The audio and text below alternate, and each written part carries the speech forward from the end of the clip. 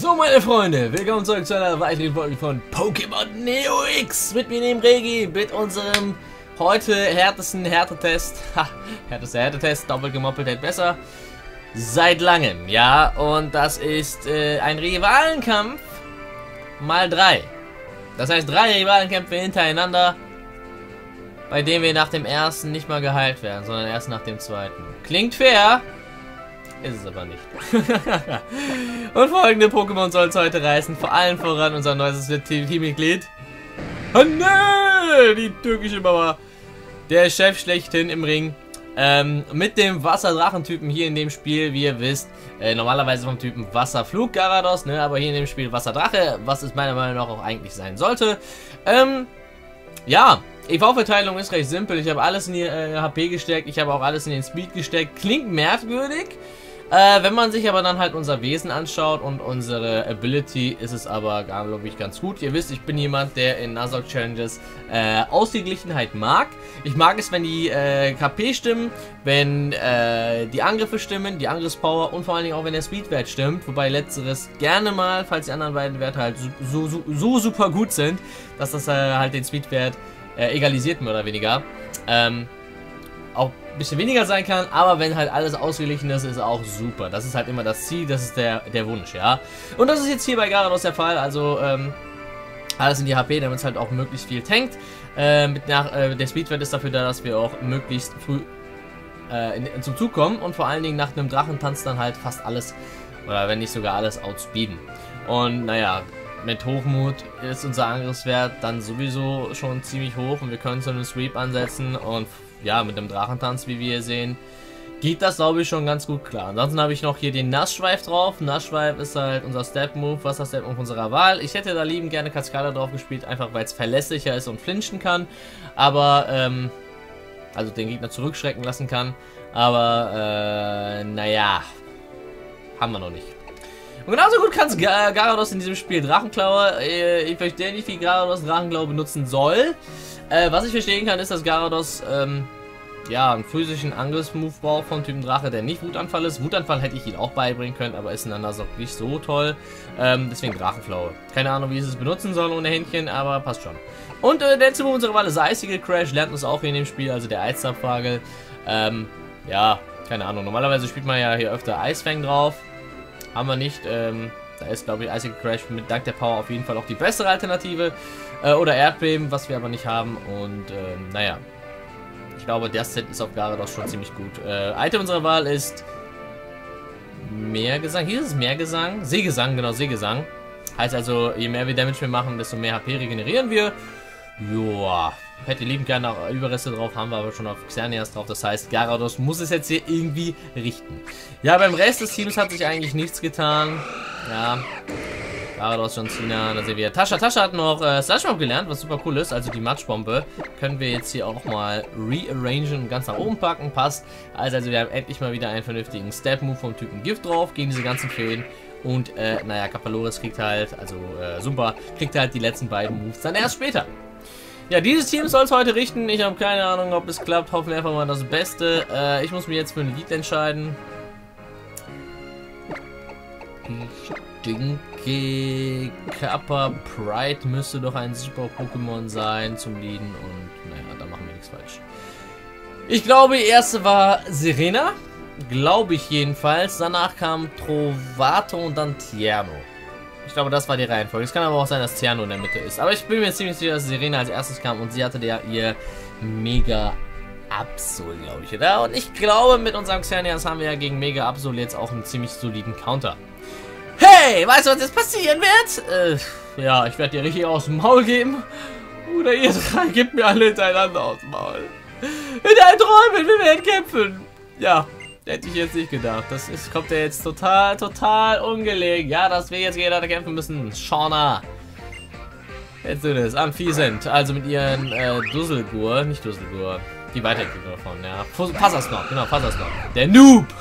Passasnoob! Ach, Thai Subs Unite! Egal. Ähm. Anwesend. Aber das Traurige ist, Moonblast ist hier sogar stärker als Thunderbolt. Äh, könnte vielleicht sogar für einen Geomancy Sweep ansetzen. Ist langweilig. Nee, wir machen einfach Moonblast. Moonblast und Go, mal schauen, wie viel Damage wir machen. Die Gegner sind hier beide auf Level 77, heißt also, wir sind relativ nah dran. Und oh, Special Attack Drop ist huge hier in dieser Situation. Light of Ruin, Lux Calamantis.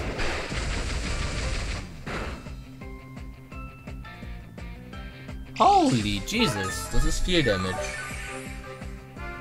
Das ist echt viel Damage. Das ist echt viel Damage, Leute. Hallo? Ist das ein, ist das ein Feen-Pokémon? Moment, wisst ihr was? Ich gamble jetzt. Was haltet ihr davon, wenn ich jetzt Geomancy benutze? Ich meine, der Special äh, Spezialangriff von Anfiesen ist jetzt ja eh gedroppt. Das hätte noch mehr Damage gemacht. Das ist 100 Pro ein Feen-Pokémon. Flugfee oder so. So, sie wird jetzt heilen. Und ich könnte hier jetzt Geo-Kontrolle benutzen. Perfekt. Das heißt, wir sind damit sogar ganz gut dabei. Wir sind ja eh schneller als die Anfiesen. Das heißt, wir kriegen jetzt erstmal eine Geo-Kontrolle raus. Wir brauchen leider zwei Runden, weil wir das Energiekraut noch nicht haben. Kann man sich farmen, habe ich gelesen, aber ich wollte jetzt für diesen Kampf erstmal nichts farmen. Können wir später machen. So, jetzt kommt nochmal Geomancy 2. Geo-Kontrolle, ein super starker Angriff, Leute. Zwei, musste leider zwei Runden raufladen, erhöht dann aber unseren Spezialangriff, unsere Spezialverteidigung und unsere Initiative. Light of Ruin. Light of Ruin kann beide auch missen, das heißt, darauf kann ich ja auch spekulieren. So, kommt jetzt erstmal Light of Ruin, macht gar keinen Damage mehr. Uh, Sweet Little Justice. Xernias, nicht schlecht. Uh, ist das gut. Stellt euch mal vor, ich hätte, wäre am Anfang gierig gewesen, wäre direkt auf Geo-Kontrolle gegangen. Das wäre nicht gut gewesen. So, Sie hat einen Trank benutzt, das heißt also, ich kann jetzt ruhigen Gewissens auch einen benutzen. Ja, Chancengleichheit. Egalité, Fraternité, bla bla bla. Vergessen wir das. Light of Ruin kommt. Ey, wage es gar nicht zu quitten, ja. Wage es jetzt gar nicht zu quitten, sonst schlage ich dich kurz im Kleinen. Perfekt. Und wir regenerieren halt dank den Leftovers auch noch regelmäßig KP. Und jetzt haben wir echt ein Monster aufgebaut. Das ist ja mal echt geil. Xernia ist der Chef. Wenn ihr tryharden könnt, und das Ding, dass dieses Amphisent ist nicht normal, Leute. Das ist nicht normal. Es kann nicht sein, dass ich mit einem Moonblast auf einem Amphisent nicht mal die Hälfte des Schadens mache. Das ist nicht normal. Also 100 Pro irgendwie gedopt. Alles in KP, alles in Spezialangriff an EVs. Das hat 100 Pro unnormale EV-Werte. Das, das kann nicht sein. Das hat 100 Pro unnormale, unmögliche EV-Werte. Alles auf dem Maximum, auf jedem Wert bestimmt 252, da bin ich mir sicher. Ansonsten kann ich mir diesen Schaden hier nicht erklären. Und natürlich auch noch äh, perfekte DVs. Anders kann ich mir diesen Schaden nicht erklären. Das war viel zu wenig Schaden. Oder es trägt eine Offensivweste. Das kann auch sein. Da habe ich nichts gesagt. So, wir sind bei einem, äh, wir sind geboostet, das heißt, wir bleiben jetzt easy drin. Sie geht in Gudra. Ja gut, okay. Schießen wir mit dem Moonblast jetzt erstmal zum Tod. Moonblast my ass. Hau rein, also mit einem plus 2 Boost sind wir jetzt eigentlich, glaube ich, ziemlich safe. Boah, ey. Xenia ist ja echt broken. Ich hätte jetzt auch noch dieses Energiekraut. Ich werde jetzt hier sicherlich nicht rausgehen. Ushana. Hey, das ist ja echt geil. Also, das ist gut. Also, wenn ich den ersten Kampf so skippen kann, dann äh, ist das echt perfekt. Hallo? Was ist denn hier los? Das Ding ist ja echt gedopt. Hallo? Was soll denn das? Hey, Kappa Pride, spiel, spielt auf den Leuten nicht die Show. Egal, vielleicht kriegen wir heute so sogar zwei Kämpfe durch. Das wäre super. Alter, wie geil ist das denn? Wir sweepen die gerade, das freut mich. Wir haben so viele Gedanken um den Kampf gemacht. Und jetzt haben wir einfach mal die Gelegenheit, sie zu sweepen. Normalerweise wären wir gar nicht zu diesem Sweep gekommen. Da ist sie selber schuld. Wenn sie denkt, sie kann äh, munter fröhlich Tränke benutzen, ja, Mach es, mach es, mach es, ist mir doch egal, ne? Dann wirst du halt gepunished dafür, indem wir uns halt hochboosten. Ja, Leute. Und so schnell kann der Kampf entschieden sein. Also ich bezweifle, dass sie da jetzt auch irgendwie hier rankommt. Vielleicht hat sie ein äh, Mauerwein. Gut, okay. Flunkiefer, da werde ich nicht drin bleiben dürfen. Wenn sie jetzt einen mega Flunkiefer... Hat sie die Flunkiefer oder hat sie... Sie hatte Flunkiefer. Ah, das ist ein Problem. Das ist echt ein Problem. Weil ich werde hier nicht drin bleiben können. Ich werde hier nicht drin bleiben dürfen. Uh, das ist nicht gut. In was wechsle ich denn dann? No, damn, ich habe kein Switch. Das Ding ist, sie wird sich jetzt mega. Ah, warum kann ich denn kein Bedroher auf Anne drauf haben? Das ist echt, das ist gerade echt ein Problem. Weil ich werde selbst mit Plus 2 nicht in der Lage sein, Mega Mobile rauszunehmen. Tough, tough, tough. Ähm, ich, boah, ich habe keinen, boah, Mobile ist gefährlich. Mobile ist richtig gefährlich. Ich muss hier raus. Wenn das Mauerbeil jetzt auf Eisenschädel geht, beziehungsweise einfach Eisenschädel drückt, haben wir ein Problem. Das heißt, wir gehen an der raus. Es ist echt schade, dass wir hier nicht Bedroher drauf haben. Das wäre in der Situation deutlich cooler gekommen. Aber sie hat halt ein Ober-Pokémon. Ha, und wir haben auch eins ausgeglichen. Power-Up Punch.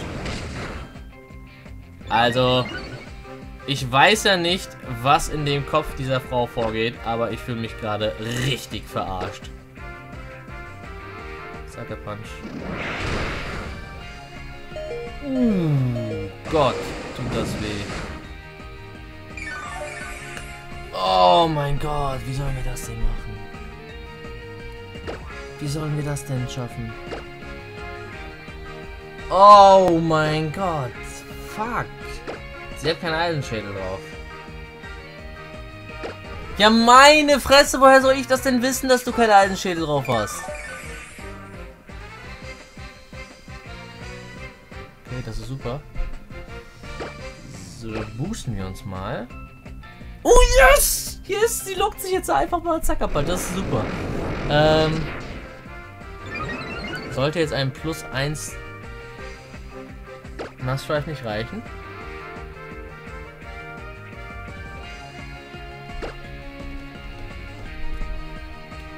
So, das war jetzt 1, 2, 3, 4. Sie kann, also, wenn wir richtig gierig sind, wenn wir richtig gierig Maximus sind, könnten wir jetzt nochmal auf Drachentanz gehen. Ich traue mich aber nicht, deswegen gehe ich jetzt direkt auf Aquatail. Ja gut, das ist der letzte Sucker Punch. Da müssen wir jetzt noch denken. Yes, it's Hilf! Yes! Und damit ist die erste down. Okay. Okay.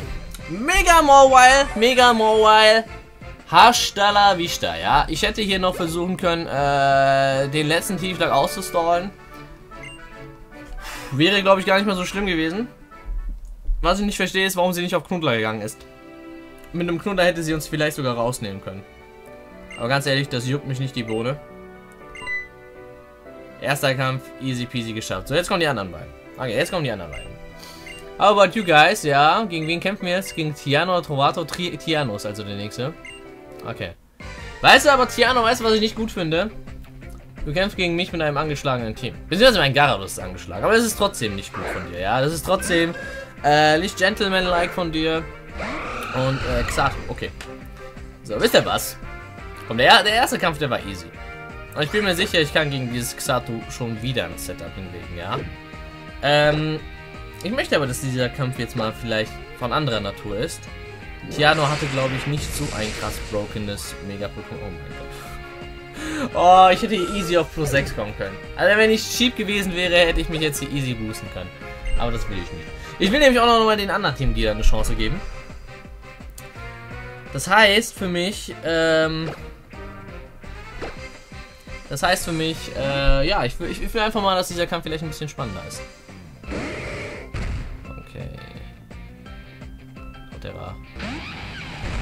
Das ist nicht gut. Das war ja sein Starter-Pokémon, richtig? Egal.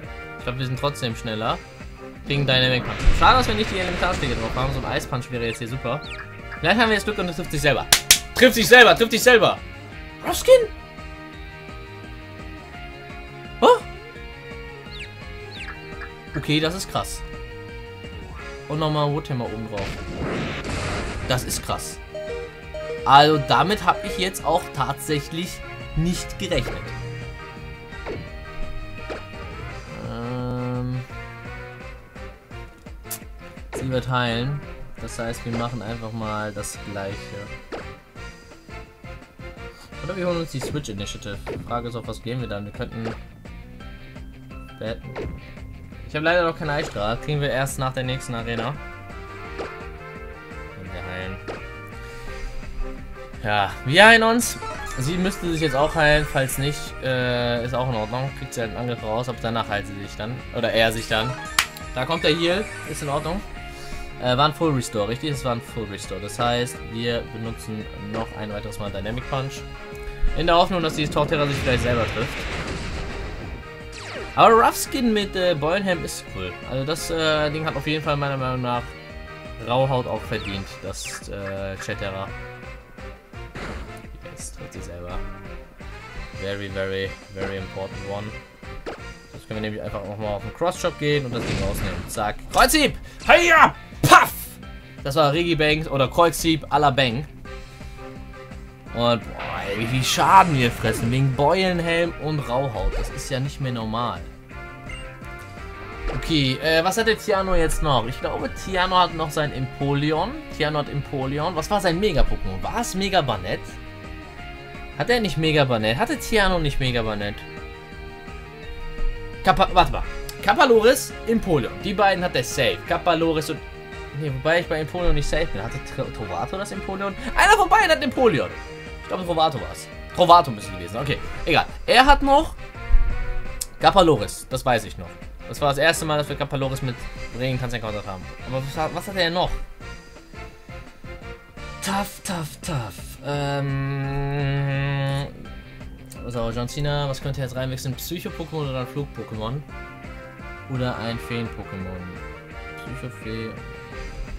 Kann switchen gegen Psychic. Wir wechseln auf Zumba. Und holen schon mal den Regen raus. Vielleicht, es, vielleicht wird das jetzt lustigerweise sogar ein Mirror-Match. Ja, Kappalos gegen Kappalos. Nee, Crowdown. Um,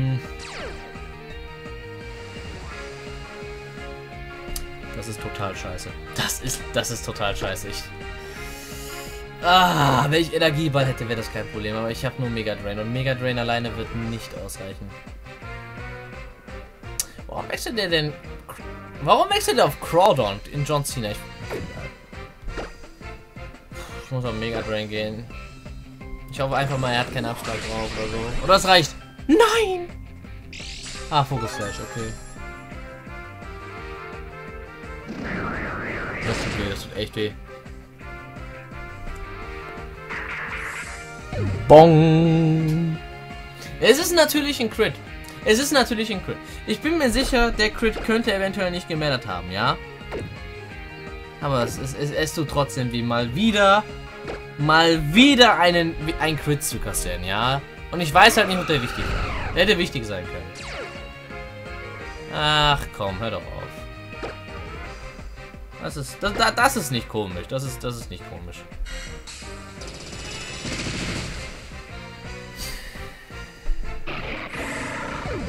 Schon wieder ein Pokémon verloren. Fuck!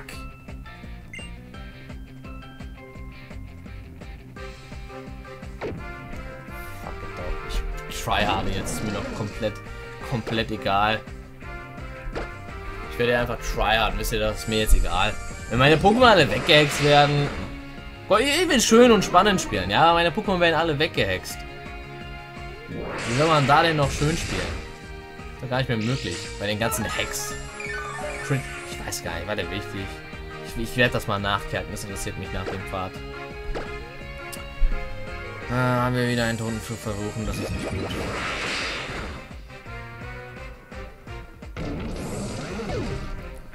Da bin ich salty drüber. Kleiner Solo-Run, sagst du? Habe ich nichts gegen. Okay, jetzt kommt wahrscheinlich Kappa-Loris. Das Mega kommt ja immer zuletzt. Kappa-Loris wir gehen auf Tascha.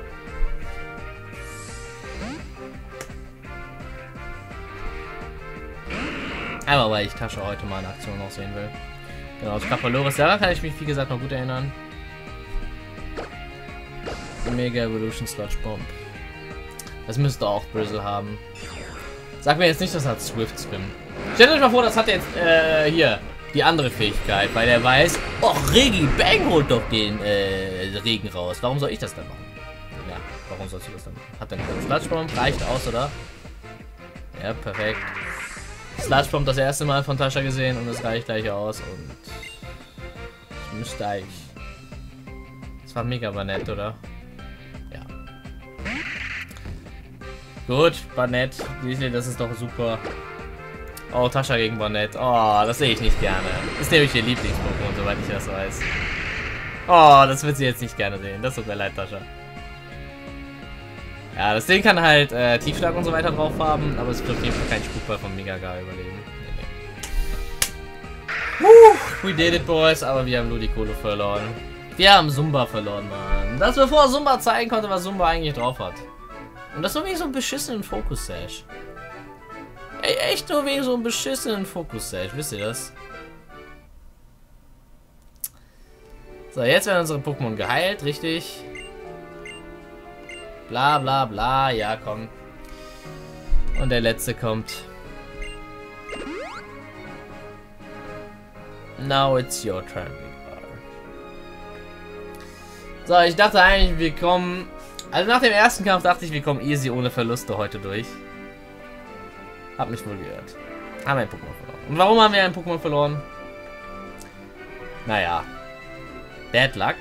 Ich weiß nicht. Ich werde gleich nachgucken, ob der Night Slash gereicht hätte. Aber ich werde wahrscheinlich den letzten Kampf nicht durchbekommen heute. Vielleicht doch, aber keine Ahnung, ich denke nicht.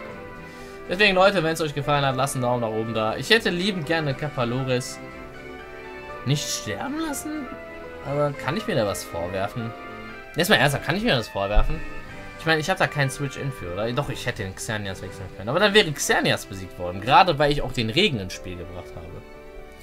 Nee, das, das, das, das war schon ziemlich gut. In dem Matchup bleibst du drin, machst einfach Mega Drain, hoffst, dass du das Ding eventuell rausnehmen kannst. Hätten wir auch geschafft, wenn da nicht der unfaire Fokuscode gewesen wäre. Ein Fokuscode ist natürlich echt äh, nicht wirklich ganz fair. Ja. Und ich musste das Ding schnell rausnehmen. Es kann nämlich auch irgendwie Drachentanz oder so eventuell spielen. Das heißt also, auch da das, das war schon richtig. Es ist halt ärgerlich, dass der Night Slash gecrittet hat. Ich glaube, Night... Nee. Night Slash hätte nicht gereicht. Ein Abschlag hätte bestimmt gereicht, weil Abschlag broken ist. Aber nicht Night Slash, oder? Ach, ich kacke das jetzt nach. Das ist ja nicht. Leute, wenn es euch gefallen hat, lasst einen Daumen nach oben da. Wir haben leider einen Verlust hinnehmen müssen. Wir werden in der nächsten Episode mit 5 Pokémon gegen äh, Trovato kämpfen. Sollten wir aber, glaube ich, hinkriegen. Ich bin mir ziemlich sicher. Wir haben ein super starkes Team mittlerweile aufgebaut. Wir haben harte Angreifer. Ja, und dann brauchen wir zur nächsten Episode... Da muss ich mir Gedanken machen, was ich als Ersatz reinnehme. Ja. Aber so langsam wird es lästig. Leute, haut rein, macht's gut, bleibt schon hoch dick und ciao, euer Regi. Bis zur nächsten Episode. Und denkt an den Daumen nach oben!